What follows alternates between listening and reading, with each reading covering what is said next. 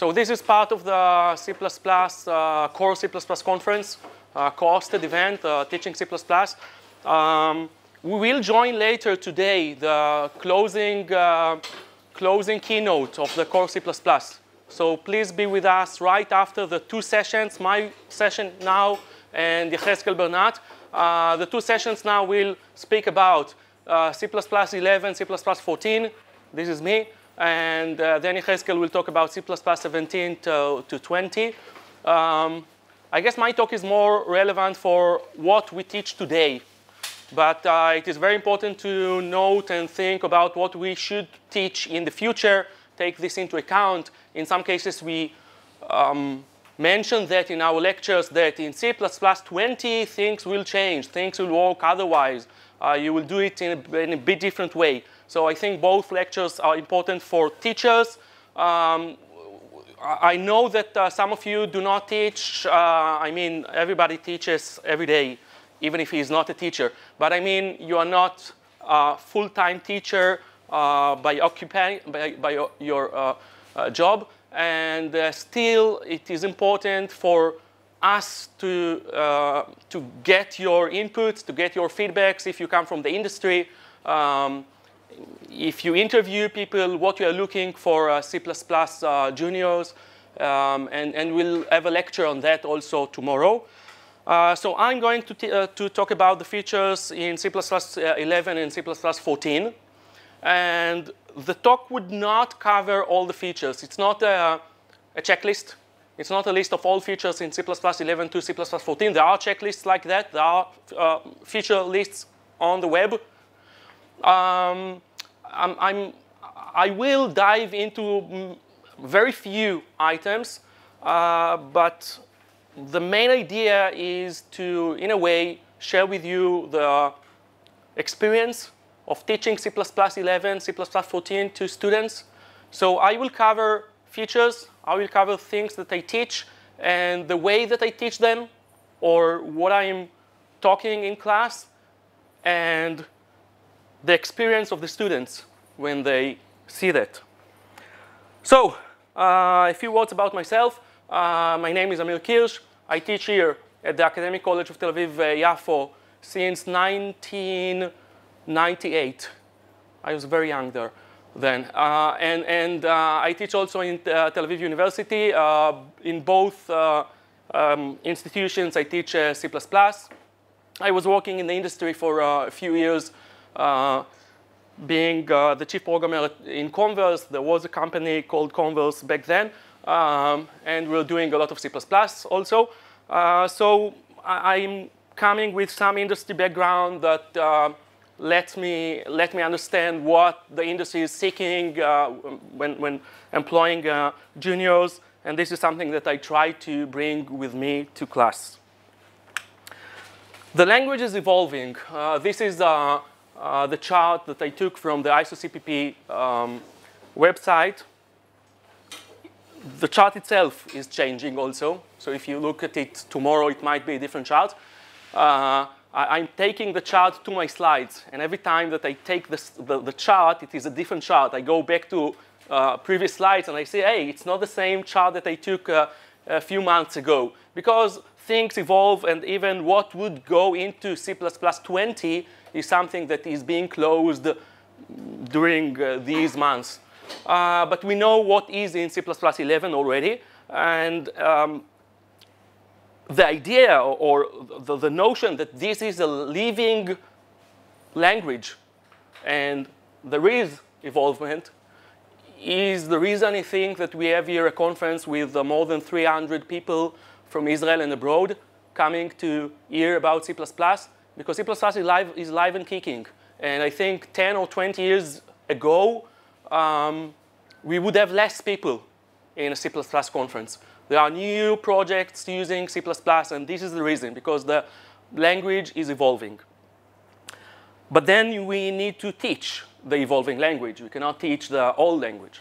So uh, we have to start with the uh, very basics. And the very basics with the C++ 11 start with new ways to initialize objects and std initializer list, and both together. And you then see that when you want to create a thingy, you can create a thingy with curly brackets. Why with curly brackets? To avoid the most vexing parse, right?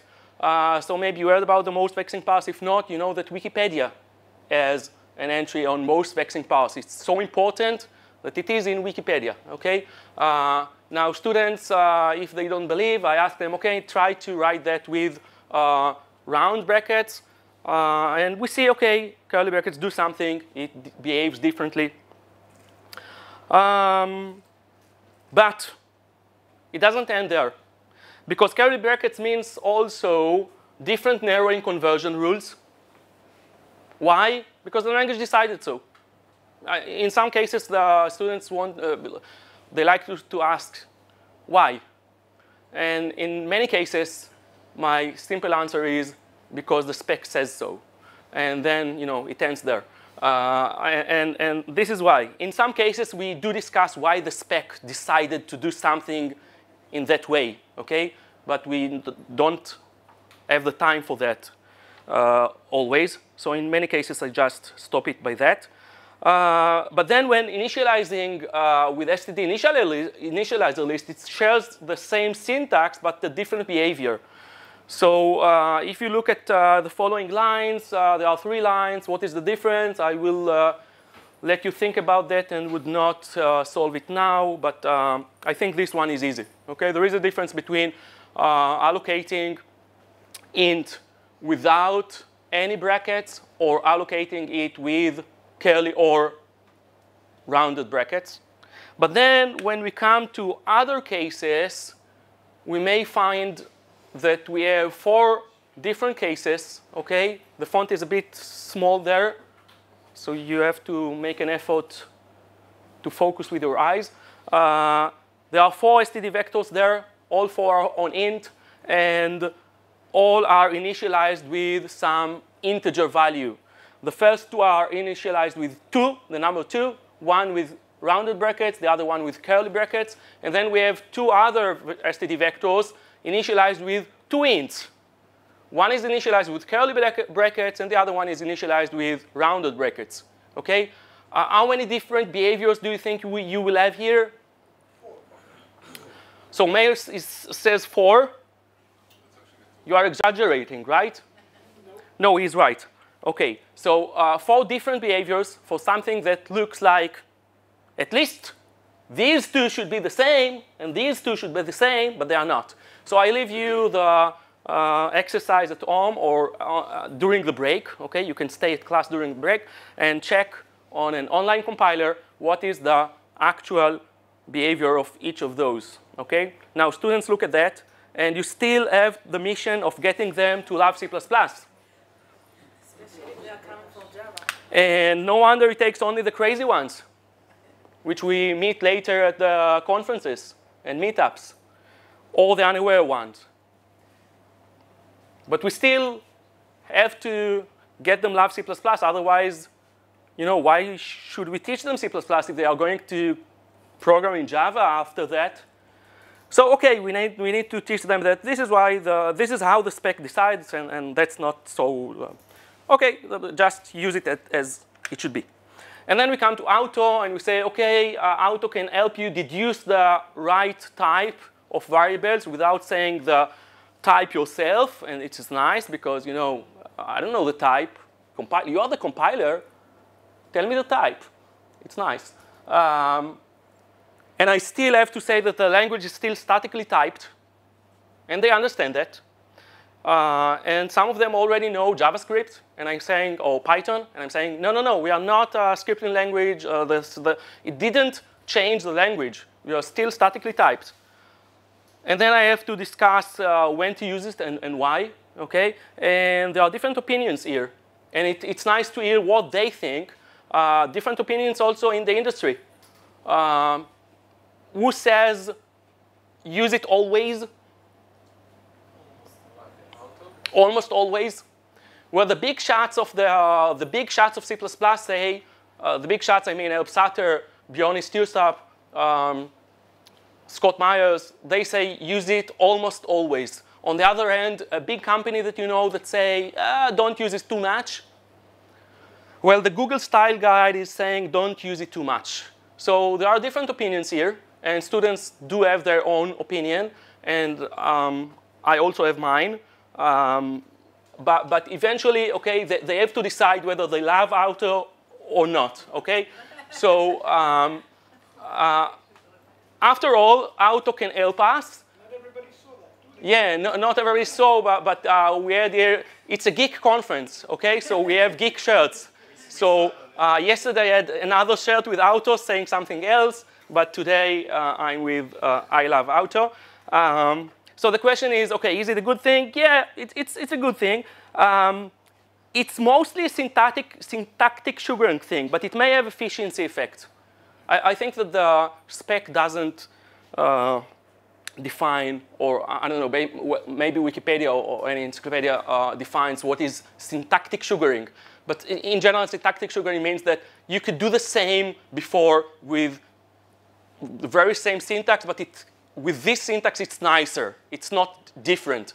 so with auto, it's nicer and it is not different. So it's almost a syntactic sugaring unless you know you would do that, but you would do that with a mistake. And um, I think that we will delay the questions till, till the end if we will have time or, or, in the break, or if, if it is something very short that maybe we'll go for a question. Yeah, sounds like a long question. So uh, we'll delay it to the end. Okay. Uh, but I have students like that. It's, it's not something new for me. Uh, it's OK. You're a good student. So uh, deducing the variable is nice, but uh, the question is, uh, would it deduce it better than I? And the answer is yes, and this is why it can have efficiency effect. And the students, in some cases, do not believe that. And then I do a small program with them, which looks like that in an online compiler, okay? Um, they see the, the, this uh, size of font, but uh, we are a bit uh, older than them. So uh, I will just uh, raise the size a bit. Um, and increasing the size a bit more, maybe? No, it's fine.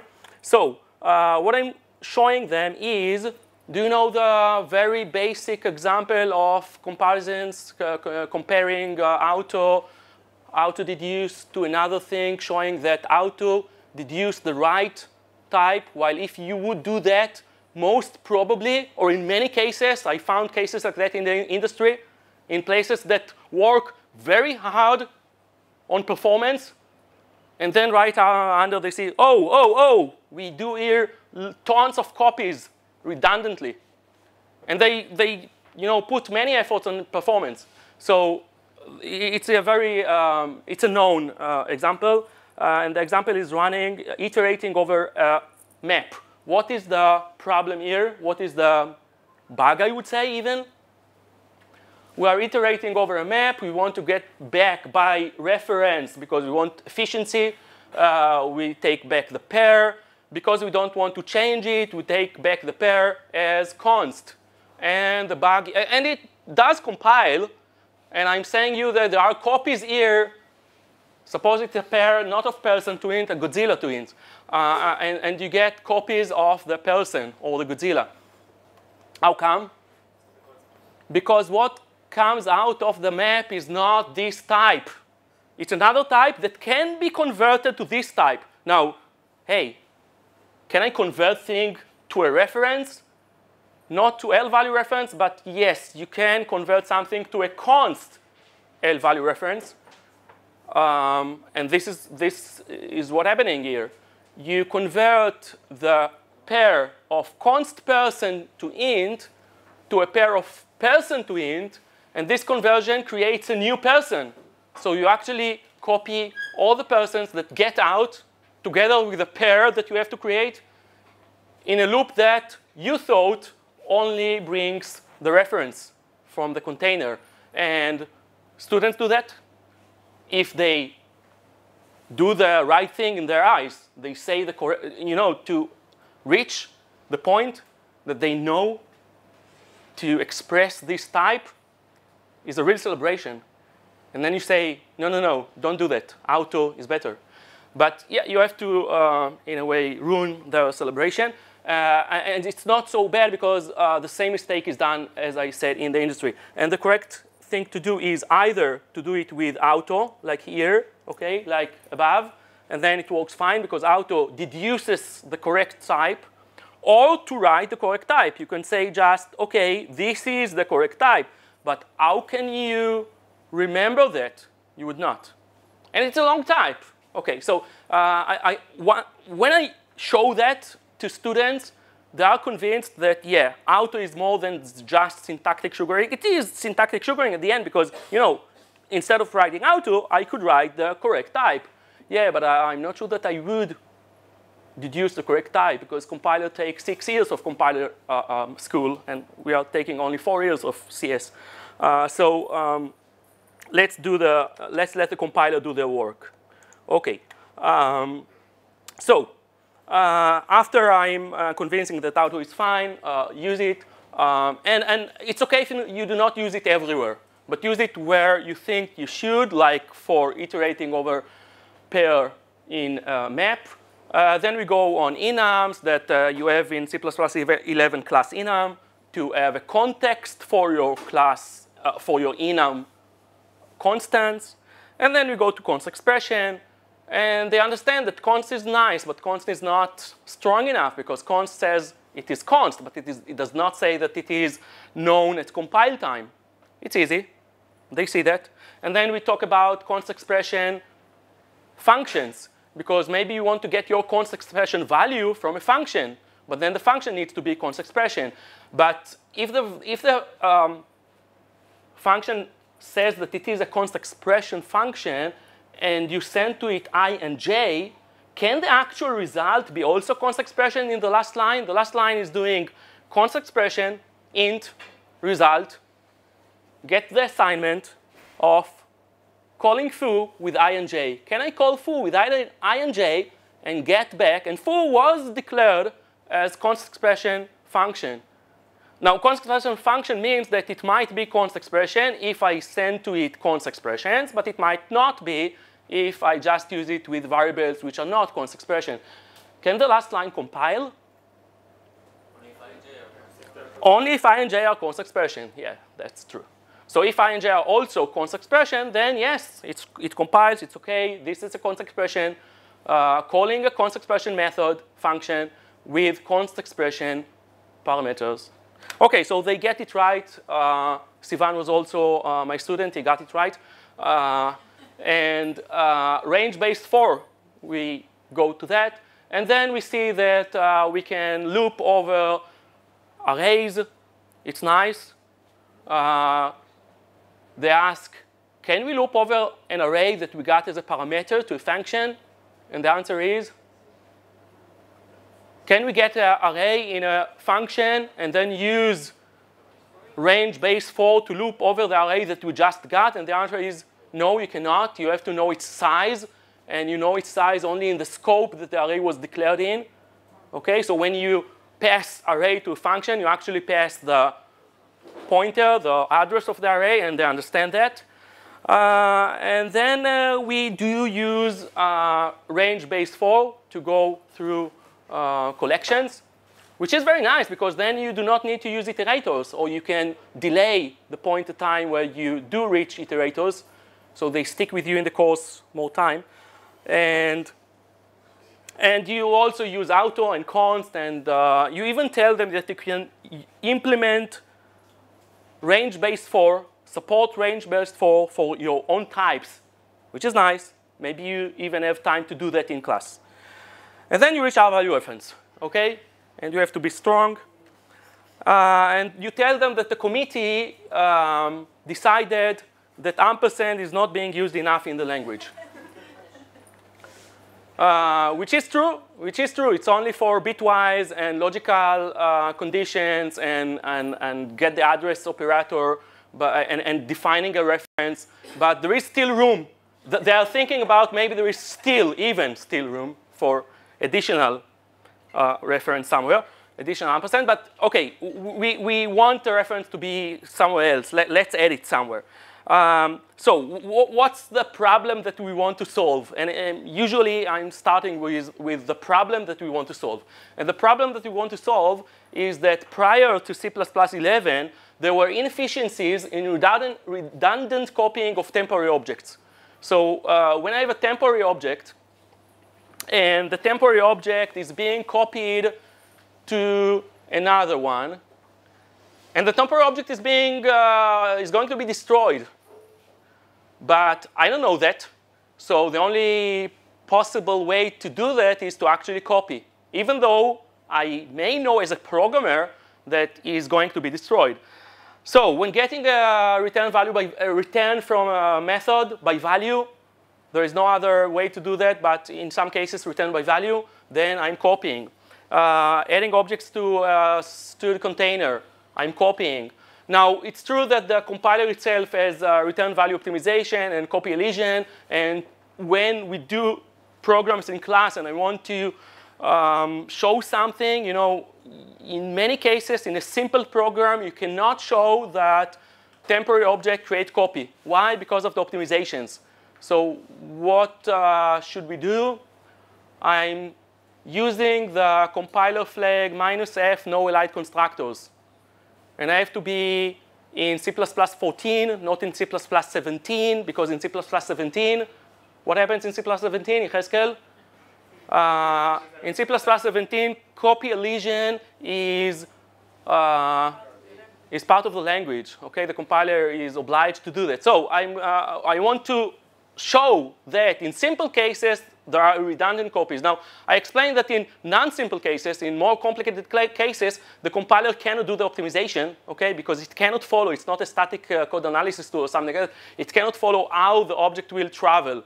So in, in simple cases, do, the, the compiler does the, the optimization, in other cases not. And I want to show how it works in simple cases. And this is why I put the minus f no elide constructors. But don't do that only just to, to see things. You do want the optimization. OK, so and they understand. And they I think they understand the rationale behind having R value reference to know, to identify, with the help of the compiler, that we have here a reference of an object that is about to die. So what can we do with, an R, with a reference of an object that is about to die? So suppose that we have a frightening Godzilla, a factory that creates a frightening, frightening Godzilla, and the frightening Godzilla comes back from um, a method that creates it, and it creates it uh, not as a um, allocation. It's not newly allocated object, it's a local object. So I get it back by value. Now, I know that it is going to be dead at the end of the statement because this one is a temporary object, and I prefer to, how would I say it uh, politely, to steal it, okay, if I can, because I know that you are about to die. Please give me your assets. You don't need them. So this is what I want to do, and they understand that this is something that might be more efficient. Uh, and the way to do that is to have two different functions, uh, overloading. It is uh, valid overloading, two different kind of references. One is there, remember, we are not using uh, uh, ampersand enough. We need to use it more. So uh, the two ampersands, and, and, they think that I'm joking at the, the first, especially if the lesson falls on, on April 1st. So uh, yeah, there, there is a difference between the two methods, and they understand that. And then you have to go to this uh, table. No, no other choice. You have to, uh, to, to explain the overload resolution, how the compiler decides where to go. And it's not so, so, simple, but uh, you have to go through that. And you still have the mission to get student live C++. No wonder it takes only the crazy ones who come to, like, to conferences like this one uh, or the anywhere. And then you go to the rule of three, which started with C++ 98. It's not something new, but it changed a bit because now you can do equals delete. Okay, this is the C++ 11 new syntax, which is nice. Okay, so under, they understand that if you have a destructor or your class is managing resources First thing you have to do is to block the copy constructor and the assignment operator. And, and they are, by the way, very happy about that. Because what I'm telling them that in the exercise, they do not have to implement copy constructor and assignment operator. They are allowed to block them unless they feel that they need them. okay? And of course, this is better than just leaving them if this is a not, uh, if this is a class who manages resources. But it, is, it doesn't stop there, right? What comes next? The rule of five, okay? So uh, you have also move constructors, uh, move constructor and move assignment operator, and maybe you want the default, or maybe you do not want the default. And if you wrote one of the five, then there is a rule of what happens to the others. And they have to know that because you will ask them about that in the exam. And there is also something about noexcept. There is also something about rule of zero before that. Uh, this is important. In some cases, we don't have time, so we skip in class the important parts, but this is an important part. And in some cases, we skip that because, you know, not much to teach about that. But the thing to teach here is that the best thing is not to have any destructor and any copy, uh, any of the five, okay? Uh, and, and it means that, okay, I'm, I'm using OOP in the right way. And it's important to, to talk about that and understand because in the industry, we prefer to have classes that do not manage resources. So use string, use uh, STD containers, use uh, smart pointers. Don't manage your own resources. Let somebody else do that. And then uh, we have to talk about move. Because if we want to implement the move operations, then they have to know how to use STD move and know the difference between implementing a move this way, which means I have a move that doesn't work, do copy, or I'm having the correct way of doing STD move or, or doing move operation with STD move. And then when they understand that, I'm saying them to, I'm saying to them, wait, but you have to know that STD move doesn't move. So ask, they ask, so, so what were we talking about previously? And I'm saying, it's not this one that did the move. It's this one that did the move. It was just an helper, okay? So why do we call it STD move? Because this is what the spec decided. Okay, this is how the spec decided. So STD move doesn't move, and okay, but wait. There is something else to say about move if noexcept. Well, you don't really have to know it. And you know, when you tell the students that you don't really have to know it, it will not be in the exam. So part of them disappear, and it's OK. They will not interfere. And the others just open their ears because they want to listen. And that's nice. That's good. OK, so you have to know something else about move if noexcept, or maybe should, or shouldn't. So OK, this would not be for the exam, also here in this class. Uh, there are some rules about how containers can move things if I create move operations with noexcept or without noexcept. So uh, I explained that, and uh, usually the, the smart ones do get it, okay? The others just de decided not to listen. But wait, it's not the end, because maybe we need also to talk about STD forward. Well, we don't really have to discuss STD forward at this point of time. Why? Because STD forward is more relevant to templates, right? STD forward becomes relevant when we work with templates. So it relates mostly to templates which would be discussed later in the semester. But there is a student who insists. He heard from his sister, who took this course two years ago, that there is also something called STD forward, so he needs to know the difference. Now. And OK, eventually, you know, you have uh, feedbacks at the end of the semester, and uh, every semester you get that the uh, teacher doesn't answer questions in class. So you decide, OK, let's, let's try to answer the question. What's the difference, and why do you have STD forward? And we'll talk about that when we'll talk about templates, but let's have a short answer, okay? Two minutes answer. Why do we need STD forward? So you give a quick example for STD forward in class. Suppose that I want to forward something. Suppose that I got, and, and you have no other choice but to give the actual real example with templates. So we say, suppose that I have some kind of template that got a t parameter, and I want to forward the t parameter to some uh, dispatching function that should get t. Okay, and I want to pass t the way that I got it. Okay, I got it. I want to dispatch it the way that I got it. It was R value. I want to dispatch it to forward it on as R value. I got it as an L value. I want to dispatch it to forward it on as an L value.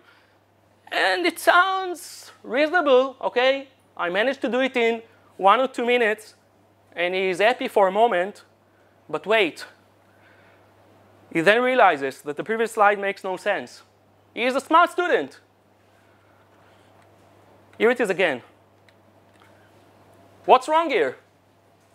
Why doesn't it have any sense? I, am saying to the student that you need STD forward because you got something, and you want to forward it on with the same reference type as you got it. Okay, but he says, wait, I don't understand it. It makes no sense. We get it as an R value. You can just pass it, out, pass it on with std move. He listened. He got the std move right. I could do std move because you know I got something that looks like something that can be moved, and I just have to pass it on, pass it, pass it on as std move. So I have to tell him, well, you are technically right, dear student. If it was indeed an R, an R value, but it is not, it's a forwarding reference, also known as universal reference, a direct result of the re reference collapsing rule. And now he's quiet. okay? But uh, it didn't really answer his question because I, you know, at the end, I had to use some uh, magic words that didn't really help him. So, uh, well, I have, uh, I've warned you. We don't really have to discuss it now, right? OK, what's next? What do we have else in C++11? So we have override override is good. Override, all students understand override, I guess. Uh, you give a very simple example, and they understand that putting override on a virtual method that I inherited from the base, I say something for the compiler. I, I'm asking the compiler, dear compiler, can you check on me, please? And they like it because they, they usually come to me and, and, ask me, can you check my program, please? And I, I ask him, I ask them, did you ask the compiler to check first? No, no, no, we want you to, to, to look at it first. So uh, th they like the compiler to check for them, that's nice. But then I have to talk about final maybe, and final is a all different thing, and I have to say, you know what, it will not be for the exam. Uh, smart pointers. Uh, I said before, I start with the rationale. And the rationale for smart pointers is very easy, and they like it. They, they totally like it when they, they understand that we are going in a way to dismiss raw pointers, they say, yeah, go for it. But then we come to std unique PTR, and we say, OK, you create a unique PTR uh, with make unique, and then you do std move uh, to pass it on to another one. And when you want to pass it to another method, you have again to do std move. And then they say, can we go back to raw pointers? We like them. Uh, movable but not copyable? What are you talking about? What is movable but not copyable? And how can we use it like that? I, I just show you. OK, so you have to park on it a bit. Uh, and when they feel a bit secure, they say, we think we got it. 50%, OK, we got it. Uh, you, they go out, we got 50% of the, OK. So you say, OK, well, wait, there are also shared PTR and weak PTR.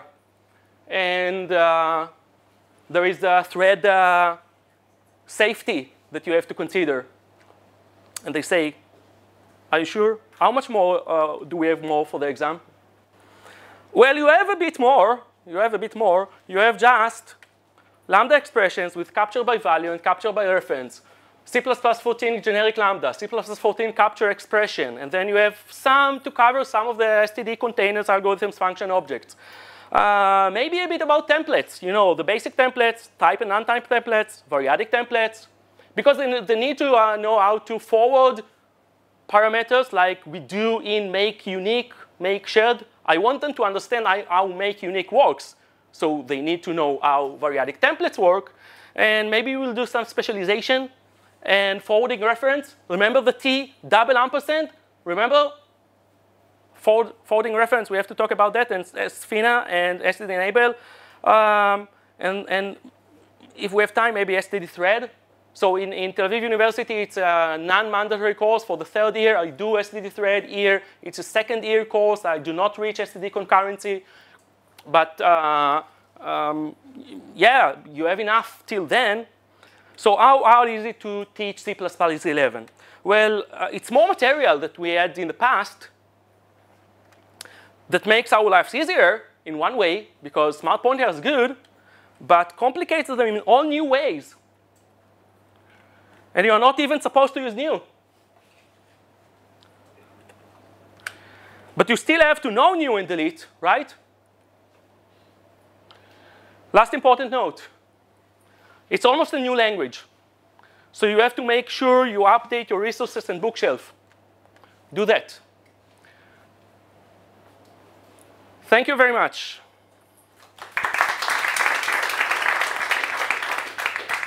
So, Meir, I think that I have five minutes for uh, questions. Just a comment about Autumn, but I can't stand up. Can I stand up for a minute? Yeah, stand up. Because I want to turn around as well.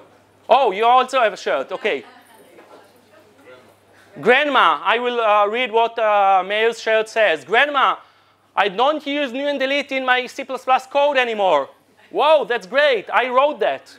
Okay? I prepared the shirts for the conference, so uh, I like it as well. And there is one also, uh, don't auto me. I'm a person P. Any other question? Yeah. Daniel. Someone who's not teaching C++ on a daily basis, um, do you think that today we still have to teach the old-fashioned C++ as an extra to the new one, or should we just teach it? Or are we going to teach only the new stuff? And like, because the old ones, old things are not good anymore. So the question Daniel asked, um, with the new features of C++, do we have to teach the old features? Um, I would add to it, do we have to start with raw pointers or start with smart pointers and then maybe later on open under the hood and say, you know, there is a pointer underneath. So the question is where to start, to start with char star or to start with std string? Now, there are many answers for that. And for this, I uh, recommend you to go for Kate Gregory lecture uh, given, I think, several times in CppCon on stop teaching C, which means when you teach C++, teach C++ and stop teaching the C parts of C++, teach students how to use smart pointers or not, how to, use pointers, etc. It's a good approach. It's not exactly what I'm doing. I'm, i do, uh, in, in uh, here uh, at the Academic College of Tel Aviv we start with C on the first year. So after they know C, and I go to smart pointers, I have to, to, to, explain in a way what is a smart pointer, that, and they understand it by you know, comparing it to a pointer. So I do start from the basic. But uh, it makes sense that if you start with Java or start, start with Python, and then you go to C++, maybe you do not have to start with pointers. You can start with, like for example, when we use um, file, use an object to work with the file, we do not go to the operating system, or maybe in another course, to understand how file works. We just use the, you know, the high level mechanics. So again, uh, with pointers, we can use the high level mechanics, same thing with strings, and this is the argument that Kate Gregory uh, takes in, in her uh, lecture, and I, I, recommend watching it. It's on YouTube, you can find it. Uh, any other question? Please. Maybe a couple of, uh, maybe a couple of uh, words. What's your opinion about uh, the difference between teaching uh, teaching people who don't know C++ at all and teaching co-workers who actually program in it in some capacity? Okay, so, so the question was uh, the difference between teaching uh, a beginner, teaching someone who do not know C++ at all, but I guess know maybe C. Familiar with programming. Okay, familiar with programming, uh, as opposed to, compared to uh, someone who writes C++, your coworker, your colleague at work will know parts, know something about C++. So uh, I would say that when you work with someone, you go to the actual examples in code. You start coding, you do things, and then you explain, OK, we're using here shared PTR because shared PTR gives you these abilities, and you go, in a way, top, bottom. And my approach in some of the cases is, is to build things bottom up. But still, when you teach juniors, you, you know, you mix it. You do some bottom up because you want them to understand how char star creates a string. This is my approach. Even though Kate, Kate Gregory would say start with std string, okay? On the other end, there are things that I would go top bottom. So I think that the mix would be that with a coworker, you would start uh, top bottom because you know the, the top is uh, what the, the, assignment, the task, what we are going to do. You usually do not understand every bit and byte in the code of the company. You just call a method, and it should do the work. We hope. Uh, on the other end, uh, in an actual course, you do want them to understand what is going on beneath. Thank you very much all. Uh, another question, last one. Just if you can tell us as, um, as lecturers, when, how many semesters of C++ you have when you're talking about you're teaching C and then C++ and when you teach everything? Yeah, so uh, first of all, we will have later today a panel about teaching C++. Uh, Iris will uh, lead the panel, and we have several people here in the audience who would be sitting in the panel. So you will have your answers, and I will have their my answers. And uh, here at the Academic College of Tel Aviv Yafo, they have uh, first year uh, learning C, two semesters, and then they uh, learn C++ on the third semester, on their second year. Uh, in Tel Aviv University, they switched. Uh, in the past, they learned C++ as a mandatory course. Now, in many institutions today, not only in Israel, C++ is gone, is up at the attic, as a non-mandatory course. there is a very old blog post on that by Joel Spolsky. Have you heard about, Joel Spolsky? He's known now as being the co-founder of Stack Overflow. So Joel Spolsky has a very old uh, uh, post on uh, how it is called, the perils of uh, Java schools, right? Uh, and, and in a way, mock, in a way, the institutions that go with, go with Java. At the end, it's only programming language. It doesn't really matter where you start.